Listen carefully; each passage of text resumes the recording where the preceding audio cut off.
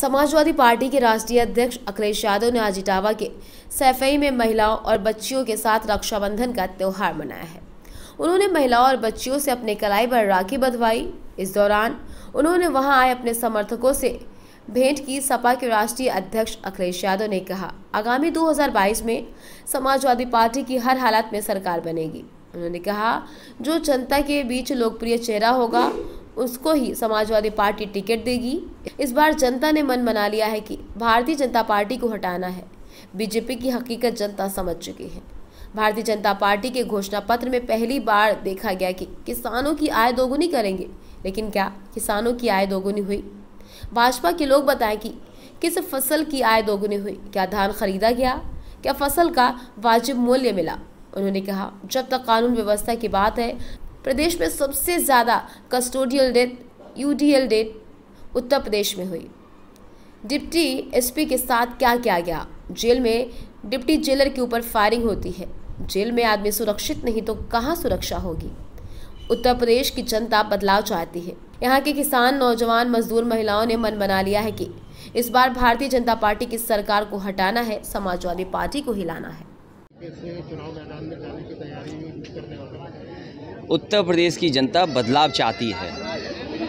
उत्तर प्रदेश की जनता ने किसानों ने, बेरोजगार नौजवानों ने, व्यापारियों ने, हर वर्ग के लोगों ने मन बना लिया है कि इस बार भारतीय जनता पार्टी का उत्तर प्रदेश से सफाया होगा।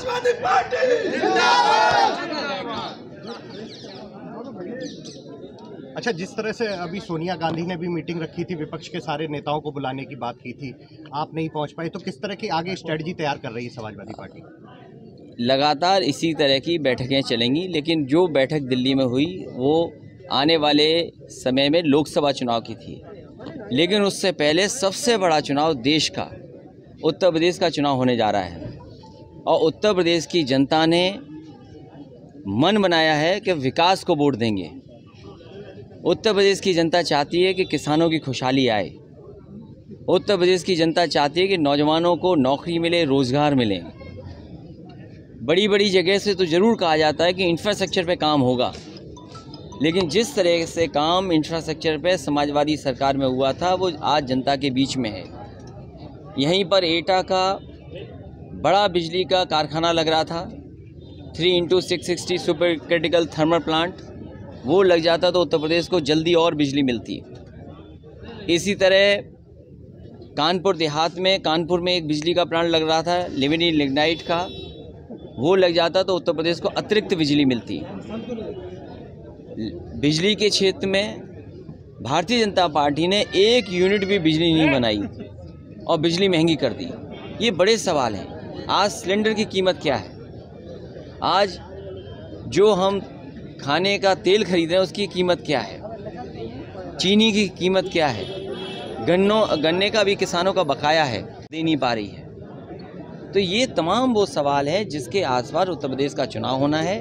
और उत्तर प्रदेश की जनता ने इस बार फैसला लिया है कि भारतीय जनता पार्टी का उत्तर प्रदेश से सफाया होगा। बिक्रू कांड पर जिस तरह से पुलिस को क्लीन चिट मिल रही है क्या लगता है कि कहीं ना कहीं सरकार की मंशा के अनुरूप प्रशासन और पुलिस और जो भी संस्था उसकी जाँच कर रही थी क्लीन चिट दे दे। लेकिन जनता के जो मन में है या वहाँ की जनता जो आसपास के लोग हैं जो सच्चाई जानते हैं वो सच्चाई कैसे उनके दिलो दिमाग से निकालोगे? गठबंधन पार्टी इस बात का दावा कर रही है कि एक बार फिर से उसकी सरकार बनेगी और वही सरकार को संचालित करने की तो ये भारतीय जनता पार्टी घबराई हुई है और इसीलिए लगातार जो साथी उनसे नाराज़ थे उन्हें मनाने में लगी है। उनसे सौदा कर रही है। भैया गठबंधन को लेकर क्या चल रहा है? शिवपाल सिंह ने भी कहा कि वो आपको मुख्यमंत्री बनते देखना चाहते हैं। समाजवादी पार्टी ने छोटे दलों के साथ गठबंधन के लिए रास्ता खोला है जो दल भारतीय जनता पार्टी को हराना चाहते हैं उन सबको साथ लेने का काम समाजवादी पार्टी करेगी। उन्नीस सौ चौरासी से उत्तर प्रदेश के अंदर कोई भी सरकार दोबारा रिपीट नहीं हुई ऐसे में भारतीय जनता पार्टी का उसको भी देखते हुए जाएँ और जो उत्तर प्रदेश का इटावा का खास विकास हुआ है उसके बारे में भी चर्चा करते हुए जाएँ तो बहुत अच्छा होगा। बंगाल का चुनाव हुआ था। बंगाल के चुनाव में भारतीय जनता पार्टी सत्ता में नहीं थी लेकिन सत्तारूढ़ टीएमसी को के नेताओं को बहुत परेशान किया। क्या लगता नहीं ये बदनीयत से काम करेंगे देखिए ये ये चुनाव से पहले ये सब कुछ होना है। इस तरह की लड़ाई जो हुई थी बंगाल में या बिहार में उससे सबक सीखा है हर पॉलिटिकल पार्टी के कार्यकर्ता नेता ने।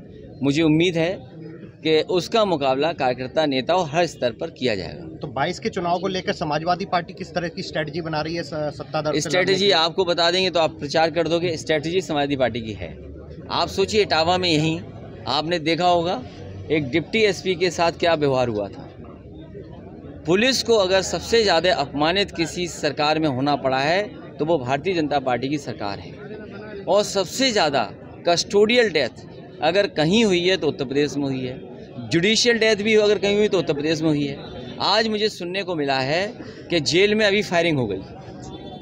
तो जब जेल में लोग सुरक्षित नहीं हैं, और कानून व्यवस्था के सवाल में हमारी बहनें, हमारी बेटियों के साथ जो व्यवहार हो रहा है, शायद देश में इतना बुरा व्यवहार, इतनी घटनाएँ किसी प्रदेश में नहीं हो रही जितनी उत्तर प्रदेश में हो रही। खबर।